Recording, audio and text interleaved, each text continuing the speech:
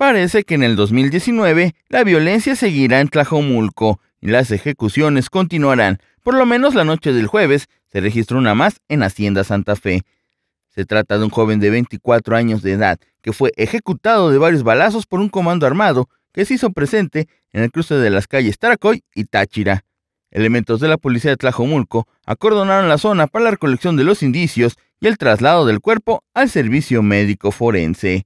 Para Noticel.mx, Sergio Enrique Hernández. ¿Sufre de algún dolor? Siéntase mejor. Bolitas de gel y cerámica que mantienen una temperatura óptima para un alivio más prolongado. Alivia dolor y ayuda a la recuperación muscular. Además, reduce hinchazón y la inflamación.